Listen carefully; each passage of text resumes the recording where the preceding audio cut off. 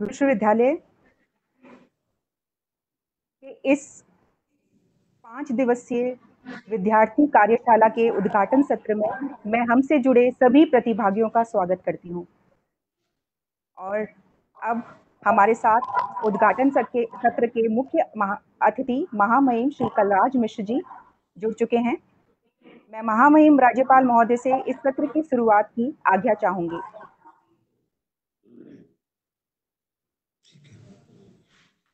जी। अब मैं कुलपति मैं राज्यपाल महोदय की आज्ञा से सत्र को शुरू करती हूँ। बीकानेर तकनीकी विश्वविद्यालय की तरफ़ से राज्यपाल महोदय तथा हमारे विश्वविद्यालय के कुलाधिपति कलराज मिश्र जी का स्वागत करते हुए हम सब हर्षित हैं। आपके कुशल मार्गदर्शन में विश्वविद्यालय तथा राज्य दोनों उन्नति की ओर अग्रसर है।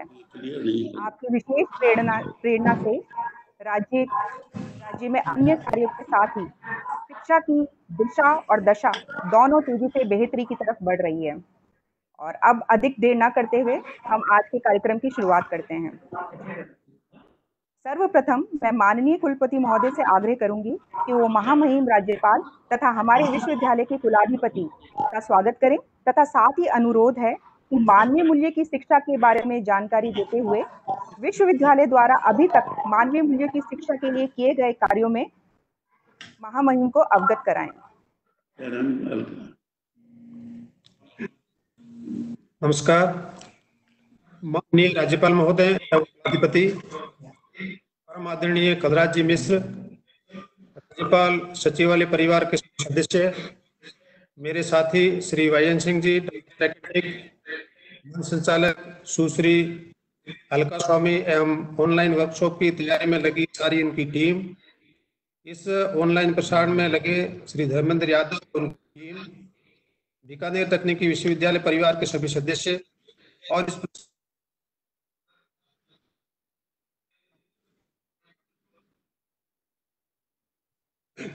मैं इस स्वागत में मान कुलाधिपति का शब्दों स्कूल के माध्यम से मेरी अपनी तरफ़ से एंड बीटीयू परिवार की तरफ़ से हार्दिक स्वागत कर आपने परिवार के मुखिया के रूप में जिम्मेवारी का निर्वहन करते हुए आशीर्वाद देने का समय निकाला। इसके लिए ऑनलाइन वर्कशॉप में लगी टीम एंड छात्राओं को प्रेरणा मिलेगी, उत्साहवर्धन होगा। बीटीयू के लिए यह ऐतिहासिक क्षण है। जब पहली बार किसी कार्यक्रम में माननीय राज्यपाल महोदय का आशीर्वाद प्राप्त हो रहा है। माननीय कुलाधिपति महोदय, बीटीयू देश का पहला विश्वविद्यालय है, जिसके सभी संकायों में, यानी engineering M B M C A B design के सभी महाविद्यालयों में मान्य मूल्यों का कोर्स अनिवार्य रूप से लागू है। मान्य बीटीयू देश का पहला विश्वविद्यालय है, जो इस तरह का पाँच दिन का ऑनलाइन वर्कशॉप आयोजित कर रहा है। छात्रों के लिए वह भी कोरोना जैसी महामारी के बीच में इस वर्कशॉप्स के माध्यम से लगभग पाँच हज़ार विद्यार्थियों व उनके परिवार को मान्य मूल्यों के आधार पर जीवन जीने के लिए प्रेरित किया जाएगा। इस विषय की और जानकारी रखने से पहले मैं थोड़ी सी उसकी भूमिका में समाज की स्थिति के बारे में निवेदन करता हूँ। समाज की इस समय स्थिति देखें तो हमने पिछले वर्षों में बहुत विकास किया है। हमारे सुविधा बढ़ी है इंफ्रास्ट्रक्चर अच्छा हुआ है, सड़कें अच्छी हुई है, घर में रहने की व्यवस्था अच्छी हुई है, रेल है, यातायात के साधन है, तकनीकी है, विज्ञान है, इसमें बहुत सी बढ़ोतरी हुई है। अगर शिक्षा को देखें तो प्राइमरी शिक्षा से लेके विश्वविद्यालय, महाविद्यालय शिक्षा में बहुत बढ़ोतरी हुई है और हमारे यहाँ पे पढ़ने वाले छात्रों की संख्या लगातार बढ़ती जा रही है। ये हमारे लिए बहुत सुखद विषय है। यानी हम निरंतर सुविधा और शिक्षा दोनों में उन्नति करते जा रहे हैं। लेकिन मैं दूसरे पक्ष को तरफ़ देखूँ तो समाज में भ्रष्टाचार बढ़ रहा है, व्यभिचार बढ़ रहा है, आतंकवाद बढ़ रहा है, असहनशीलता बढ़ रही है, तनाव बढ़ रहा है। यानी एक तरफ़ हम शिक्षा में या सुविधा में दिन उन्नति कर रहे हैं, लेकिन उसी के साथ साथ हम सामाजिक जीवन की तरफ़ देखें तो नैतिक मूल्य, संस्कार, इसमें हम समाज के रूप में कि समाज का कितना विकास हुआ है, उसमें निरंतर नीचे जा रहे हैं, ऐसा प्रतीत हो रहा है। यानी ये इन दोनों के बीच की खाई, गैप बढ़ता जा रहा है। समाज में इस वजह से कई सारी परेशानियाँ पैदा हो रही है। इसको ठीक कैसे किया जाए? इसको ठीक कैसे किया जाए? ये विषय सभी शिक्षाविदों के लिए बहुत महत्वपूर्ण है। विषय को आगे बढ़ाते हुए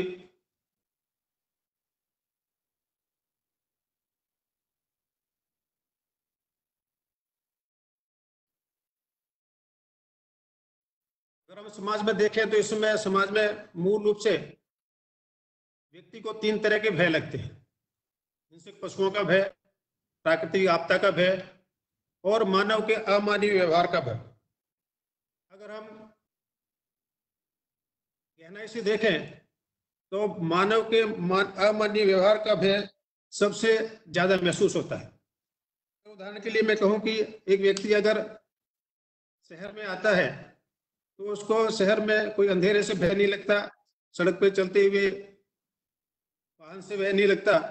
अगर कोई व्यक्ति थोड़ी देर उसके लगातार पीछे चले, अनजान व्यक्ति तो डर लगने लगता है।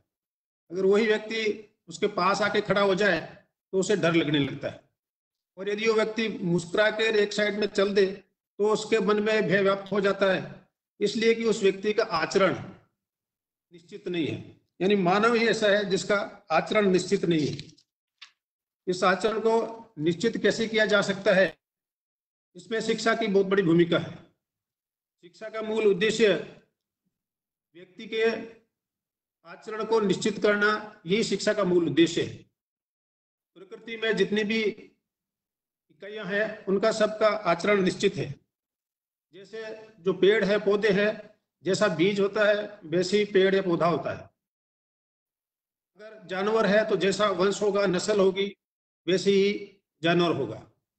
लेकिन मानव के लिए ऐसा संभव नहीं है। उदाहरण के लिए मैं कहूँ कि अगर गाय है तो शाकाहारी होगी, शेर है तो मांसाहारी होगा। इसका उल्टा नहीं हो सकता। शेर घास नहीं खा सकता और मांस नहीं खा सकती। लेकिन क्या हम मानव के लिए ऐसा कह सकते हैं कि जिसके माता पिता शाकाहारी है, उसकी संतान भी शाकाहारी होगी? निश्चित रूप से शायद हम ऐसा नहीं कह सकते। यानी मानव का जो आचरण है, वो निश्चित नहीं है। उसका आचरण को निश्चित शिक्षा और उसके माध्यम से ही किया जा सकता है। वर्तमान शिक्षा की स्थिति को देखें तो तीन चीज़ें मुझे ध्यान में आती है। एक समझ का विषय है, दूसरा सीखने का है और तीसरा करने का है। जो समझ का विषय है कि हमको करना क्या है तो करना क्या है इसको हम मूल्य शिक्षा कहेंगे। मूल्य शिक्षा ही कि क्या करना है। दूसरा है कैसे करना है। कैसे करना है उसका कौशल क्या है, स्किल क्या है। लेकिन अंततः करना क्या है, वो है कि मूल्य आधारित कौशल होना चाहिए। मूल्य का निर्देशित कौशल होना चाहिए। लेकिन वर्तमान में इसकी स्थिति कुछ विपरीत हो रही है। हम निश्चित रूप से कौशल पे ध्यान दे रहे हैं, लेकिन मूल्य पे ध्यान नहीं दे रहे हैं। उदाहरण के लिए बताएँ कि हम इंजीनियरिंग के विद्यार्थियों को तकनीकी के विद्यार्थियों को से बिजली बनाने का फार्मूला बताते हैं। वो बिजली बनाने के फार्मूले से बम भी बन सकता है। तो फार्मूला तो अपने आप में इनर्ट है। ये तो उसको उपयोग करने वाले की वैल्यू पर निर्भर करता है कि वो बिजली बना के समाज के लिए उपयोगी काम करता है या बम बना के विध्वस्त करता है। यानी मूल्य के विभिन्न कौशल समाज के लिए बहुत घातक भी हो सकता है।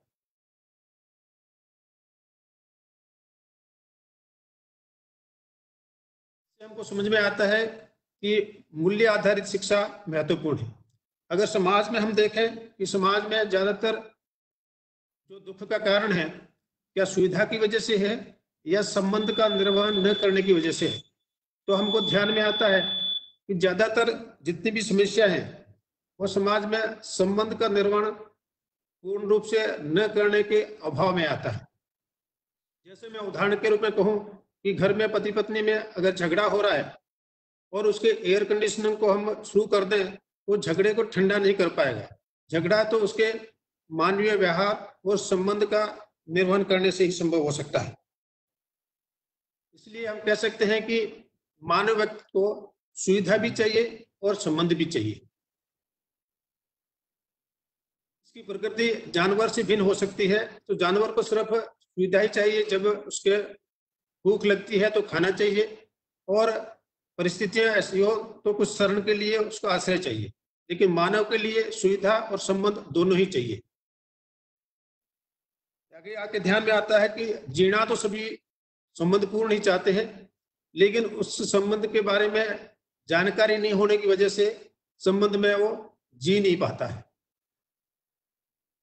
ऐसे में ध्यान में आता है कि जब सभी लोग का उद्देश्य तो सुखी और संपन्न होना है, लेकिन इस समझ के अभाव में वो ऐसा कर नहीं पाते।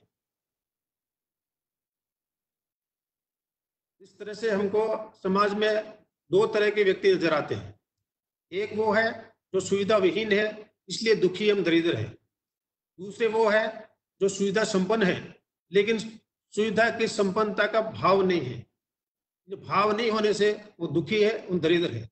लेकिन होना तो सभी लोग सुखी, संपन्न चाहते हैं। सुविधा संपन्न होना चाहते हैं, सुखी और समर्थ होना चाहिए। यानी सभी व्यक्तियों की जो जीने का उद्देश्य है, सुखी और समर्थ होना है, ये तो सभी का एक है लेकिन जिस तरह की समाज की स्थिति है, उसको ध्यान में देते आता है कि व्यक्ति को सुविधा भी चाहिए और संबंध भी चाहिए। और इन दोनों का पूर्ण रूप से सही तरीके से निर्वहन करने के लिए उसमें सही समझ भी चाहिए। इन तीनों चीज़ों को ध्यान में के देखते हैं कि सुविधाएँ व्यक्ति को कितनी चाहिए, संबंध के निर्वहन के लिए उसको क्या करना चाहिए और इन दोनों का पूर्ण रूप से पालन करने के लिए क्या सही समझ होनी चाहिए। और इन दोनों की, तीनों की प्रायोरिटी क्या होनी चाहिए? पहले नंबर पे क्या आना चाहिए, दूसरे पे क्या आना चाहिए, ये विषय बहुत महत्वपूर्ण है। कहीं कभी कभी ऐसा लगता है कि हमारी जो सारी एनर्जी है व्यक्ति की, वो उसको सुविधा संगण में लगा रहा है। और शायद सुविधा संगण में लगाते हुए उसके मन में ये भाव है कि सुविधा के संगठन से ही संबंध ठीक हो जाएँगे। और इसी समझ की वजह से जो वातावरण बनता है, वो संबंध का निर्वहन न होने की वजह से सुविधा तो है लेकिन संबंध का निर्वहन नहीं होने से व्यक्ति सुखी नहीं हो पाता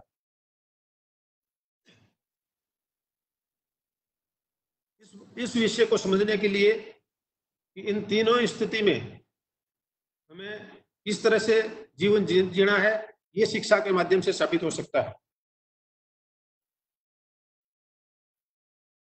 व्यक्तिगत जीवन में चार स्तर पे उसे जीना होता है। व्यक्ति के खुद के अंदर हारमोनी फिर जिस परिवार में जो रहता है, उसमें हारमोनी और उस परिवार का जो एक्सटेंडेड फॉर्म है, विस्तार है, यानी जिस मोहल्ले में रहता है, जिस गाँव में रहता है, यानी पूरे समाज में जिस तरह से रहता है, उसमें हारमोनी के साथ रह सके।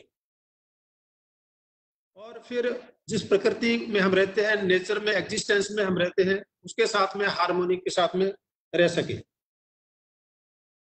इन चार स्तर की हारमोनी को समझने के लिए शिक्षा ही एक ऐसा माध्यम है जो इनको समझा सकता है कि व्यक्ति अपने में, आप में कैसे संपूर्ण रूप से हारमोनी में रह सकता है। क्या हम हमारा आज का विद्यार्थी अपनी आवश्यकताओं का और क्षमता का निर्धारण कर पाता है और उसका निर्धारण करने के बाद में क्या उसको हासिल करने के लिए उस पोटेंशियल के साथ में अपनी पोटेंशियल प्राप्त करने की क्षमता रखता है? अगर इस क्षमता के साथ जीता है तो जो परिवार में जीने लगता है तो लगता है कि परिवार में क्या वो है? विश्वास, सम्मान और स्नेह के साथ सभी लोग जी पा रहे हैं। क्या अकेला व्यक्ति, हम समझते हैं कि कभी भी सुखी नहीं हो सकता। उसको परिवार के साथ ही सुखी होना पड़ता है। अगर उसका परिवार सुखी नहीं है तो व्यक्ति अपने आप में सुखी नहीं हो सकता।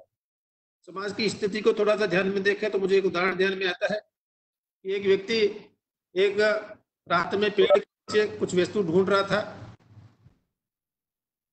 उसके जो जानकार लोग आसपास आए तो वो भी इसकी वस्तु को ढूँढने लगे कि मेरी अंगूठी खो गई है अंगूठी खो गई है ढूंढते रहे काफ़ी देर से कुछ मिला नहीं तो एक ने पूछा कि आप बताएँ आपकी अंगूठी यही गिरी थी कि आप श्योर है पक्का है उन्होंने कहा नहीं नहीं अंगूठी तो दूसरी तरफ़ उधर अंधेरी थी तो बोला यहाँ क्यों ढूंढ रहे हो यहाँ इसलिए ढूंढ रहे कि ये उजाला है हमारे विद्यार्थियों की हो रही है वो अपनी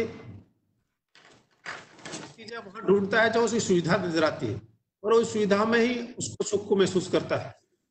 ऐसी ये समझना है कि उसको स्तर की कैसे रख सकता है? तो जो समझने का विषय है वो एजुकेशन के माध्यम से होता है और इन चारों स्तर से एक हारमोनी में कैसे रह सकता है वो उसके संस्कार पे आधारित एक व्यक्ति अगर चारों स्तर की हारमोनी में जी, जीता खुद में, परिवार में, समाज में और फिर प्रकृति के साथ। अगर जी पाता है तो स्वयं भी खुश होता है। जब स्वयं खुश होता है, तभी दूसरों को प्रसन्न करता है। इसको हम या म्यूचुअल हैप्पीनेस करते हैं। इसी तरह से वो अगर सुविधा का आंकलन ठीक ठीक से कर पाता है और रेस्ट ऑफ़ नेचर को ध्यान में रख करता है कि मुझे कितनी सुविधा चाहिए, दूसरे भी मेरे हैं, उनके लिए कितनी सुविधा चाहिए, तब वो सुविधाओं का एक्सप्लोर करता। खुद में भी सुविधा संपन्न होता है और दूसरों को भी सुविधा संपन्न करता है। इस तरह की उभय समृद्धि करते हैं। यानी व्यक्ति सुखी भी होता है, समृद्ध भी होता है, दूसरे को सुखी और समृद्ध होने के लिए पर्याप्त भाव होता है। इस तरह के भाव को हम हारमोनी के साथ जीना कहते हैं।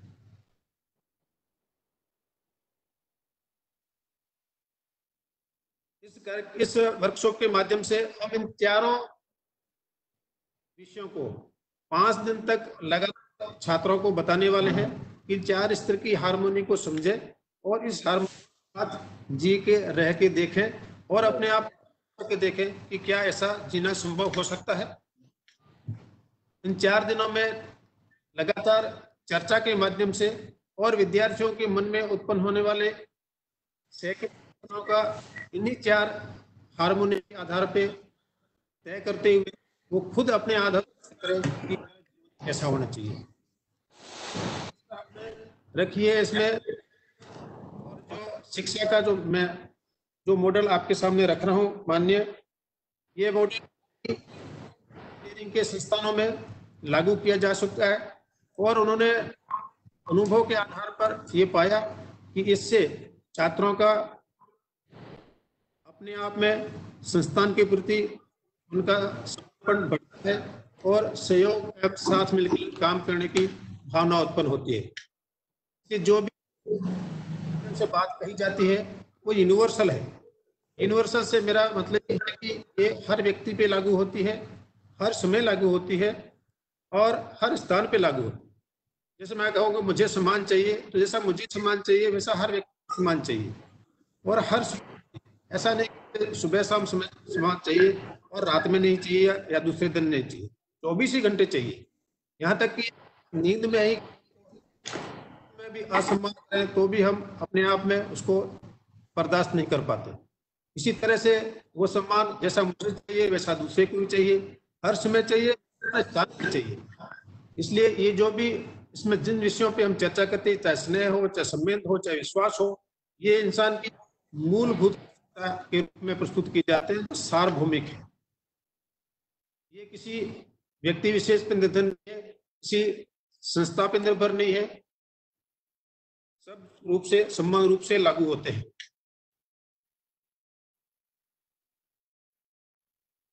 इसको कई संस्थानों ने, इंजीनियरिंग के कई संस्थानों ने लागू करके देखा है, और उसके बहुत अच्छे रिज़ल्ट सामने आए हैं। इसी को ध्यान में रखते हुए बीकानेर तकनीकी विश्वविद्यालय ने भी इसी विषय को लागू किया है और उसके गहन अध्ययन के लिए इस वर्कशॉप का आयोजन किया जा रहा है। और इस वर्कशॉप के आयोजन से लगता है कि बच्चा हारमोनी से जीने की शिक्षा के साथ में इसको जी पाएगा। मैं इसको अगर एक शब्द में कहूँ तो कि स अस्तित्व ही अस्तित्व है। अगर व्यक्ति इस धारणा को समझ ले कि मेरे अकेले के सुखी से सुख नहीं है संपन्नता नहीं है स अस्तित्व में ही अस्तित्व है। को एग्जिस्टेंस इज़ एग्जिस्टेंस इसी भाव को रख के इस कोर्स को पढ़ाया, समझाया जा रहा है। मान्य पिछले दो सालों में जब से बीकानेर तकनीकी विश्वविद्यालय बना है, उस विश्वविद्यालय ने जो अब तक कार्य किए है, उसकी रूपरेखा रखूँ, उससे सामने पहले मैं आपको एक जानकारी रखना चाहूँगा कि देश में बहुत से शिक्षा आयोग बने। सभी शिक्षा आयोग ने अपनी रिकमेंडेशन में ये बात निश्चित रूप से कही कि शिक्षा मूल्य आधारित होनी चाहिए। लेकिन उस शिक्षा में मूल्य को शामिल कैसे कर सकते हैं, इस तरह का मॉडल सामने नहीं दे पाए। अब भी जो नई समिति, नई कस्तूरी रंगन की समिति की रिपोर्ट की चर्चा हो रही है, निश्चित रूप से आने वाले समय में लागू होने वाली है। लेकिन उसको भी भारत आधारित शिक्षा, मूल्य आधारित शिक्षा कहा गया है। ये शिक्षा मूल्य आधारित शिक्षा छात्र तक कैसी पहुँची जाएगी, वो मॉडल अभी तक क्लियर नहीं है। पर जिस मॉडल की मैं चर्चा कर रहा हूँ, जो आपके सामने मैंने रखा है कि चार स्तर की अगर हारमोनी के साथ बच्चे को हम तैयार करते हैं, उसकी वो समझ बनती है तो वो हारमोनी के साथ सबके साथ जी सकता है। वो निश्चित मानवीय आचरण के साथ जी सकता है। वो अपनी सुविधा का और अपनी क्षमता का आकलन करने में सक्षम होता है और उस क्षमता और सुविधा की आकलन के बाद में उस काम को कर, श्रम पूर्वक करने के लिए वो अपने आप को तैयार करता है। और श्रम पर श्रम पूर्वक किए हुए काम को अगर क्षमता से ज़्यादा करता है तो इसी को समृद्धि कहते हैं। मैं समझता हूँ कि इस तरह के कोर्स के माध्यम से निश्चित रूप से छात्रों में उनके जीवन में उस जिस रूप में वो इस पूरे ब्रह्मांड की एक इकाई है ये समझ विकसित होगी कि उसकी जो जिम्मेवारी क्या है और उस जिम्मेवारी के साथ में वो अपनी भागीदारी करते हुए कैसे जी सकता है। माननीय बीकानेर तकनीकी विश्वविद्यालय में पिछले दो वर्षों में इस माननीय मूल्यों में बहुत ही समर्पण के भाव से काम किया है। क्योंकि हमारा engineering M B M C professional courses का विश्वविद्यालय है, लेकिन हमने मान्य मूल्यों की एक अलग से फैकल्टी की स्थापना की है। पूरे विश्वविद्यालय में पाँच जगह नोडल सेंटर तय किए हैं, जहाँ से इस विषय के माध्यम से शिक्षकों की ट्रेनिंग हो सके, छात्रों के लिए वर्कशॉप हो सके। हर महाविद्यालय में एक यूनिवर्सल ह्यूमन वैल्यू का सेल बनाया गया है, जो इस शिक्षा के बाद में उसके एक्सटेंशन के रूप में छात्रों को सामाजिक काम से जोड़ सके ये विषय सिर्फ़ पढ़ने लिखने का नहीं है। इसको पढ़ने लिखने के साथ समझ का, समझ के और समझ के निर्वहन करने का लिए। इससे हमें ध्यान में आया कि हमारे आसपास के अधिकतम विद्यार्थी हिंदी माध्यम से आते हैं। तो चूँकि हमारा माध्यम इंग्लिश है, लेकिन इस विषय को हम हिंदी माध्यम में भी पढ़ने और लिखने के लिए अलाउ करते हैं। पिछले दो वर्षों में मैं समझता हूँ कि ये विषय जब तक अध्यापक तक नहीं जाएगा टीचर तक नहीं जाएगा, वो इसको समझ के जिएगा नहीं, तब तक वो विद्यार्थी को प्रभावित नहीं कर सकता, उस तक पहुँच नहीं सकता। उसके लिए हमारे शिक्षकों की इस विषय की ट्रेनिंग होनी चाहिए। मुझे ये बताते हुए बहुत ही हर्ष हो कि मेरा एक कॉन्स्टेंट कॉलेज है, उसकी शत प्रतिशत फैकल्टी ने आठ दिन की इन्हीं चार चार स्तर के जीवन पे सतत ट्रेनिंग ली है और सतत ट्रेनिंग के लेने के बाद इस विषय को जीवन में जीते हुए कर रहे हैं। आज जिस वर्कशॉप में हम शामिल हुए हैं, बच्चों का ऑनलाइन वर्कशॉप करना अपने आप में बहुत ही मुश्किल कार्य है। इस विषय को ऑफलाइन भी समझना बहुत मुश्किल होता है, लेकिन ऑनलाइन समझना समझना और समझाना बहुत ही मुश्किल है।